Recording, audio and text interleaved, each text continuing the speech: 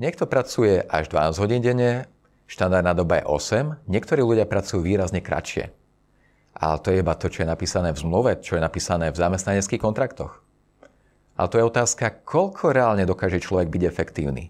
Toto som sa pýtal aj rôznych ľudí, lebo najprv som si myslel, že iba ja som divný, že iba ja to tak mám, ale zistil som, že to tak má veľmi veľa ľudí. Každý človek má svoju výkonovú krivku a tá je jeho osobná. A všeobecne platí, že každý človek sa dokáže zhruba 1 až 2 hodiny sústrediť denne fakt veľa. Ďalšie 2, 3, 4 hodiny sa dokáže sústrediť menej a zvyšok už iba relaxuje a v práci napríklad sedí na stoličke, pozera si videá, fakt, alebo je na sociálnych sieťach. Tie dve hodiny najvýkonnejšie každý človek má inde.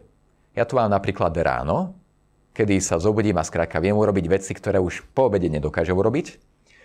A častokrát to mám napríklad, keď sa aj vyspím, oddychnem si, na pol hodinu si zdremnem, vtedy viem tiež sa prepnúť do toho výkonného režimu.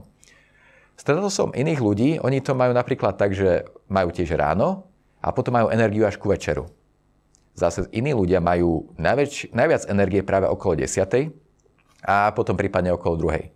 A tým pádom základ je spoznať tvoju výkonovú krivku, zistiť, kedy si naozaj efektívny a aj čo ťa unavuje, kedy si úplne neproduktívny. Napríklad eh, typicky je to po obede. Fakt po obede sú ľudia ospali a vtedy netreba robiť nič dôležité. A vďaka tomu sa tiež otvoril taký zvláštny svet efektivity. Ako konzultant som si zvykol na to, že mám odovzdať výsledky a byť efektívny, lebo som bol platený hodinovkou čistého času. Tým pádom som išiel do firmy, keď som bol oddychnutý, vedel spraviť riešenia. Ale keď som už cítil, že som unavený a že začínam robiť chyby z nepozornosti, vtedy som povedal, že už končíme, že dokončíme to inokedy a namiesto toho som išiel relaxovať, išiel do prírody, zaplávať si a podobne. A to bolo niečo, čo mi veľmi fungovalo. A stále funguje. To znamená, aby sa to dalo spraviť finančne, potreboval som mať zhruba trojnásobnú sazbu za hodinu proti bežnému človeku, aby som si mohol účtovať iba čistý čas a dobre zarobiť iba vďaka čistému času. Ale vďaka tomu sa stalo niečo neskutočné. Dve tretiny dňa mám voľno, kde viem zrelaxovať. A toto odporúčam každému. Ak chce byť naozaj efektívny, spoznať svoju výkonovú krivku, uvedomiť si, kedy je fakt dobrý a jalové hodiny kedy skrátka chce spať, ideálne ani nemať v práci a pritom oddychovať niekde, kde si naozaj vie oddychnúť. Či už postel, príroda, prechádzka, park. A to najzvláštnejšie je, ako náhle ste platení za výsledky, to je celý princíp tohto myslenia, byť platený za výsledky, zdravo sa posúvate zo zamestnaneckej sféry do viacej podnikateľskej. Či už e, živnostník, SROčka, konzultant, pretože si uvedomíte jednu dôležitú vec.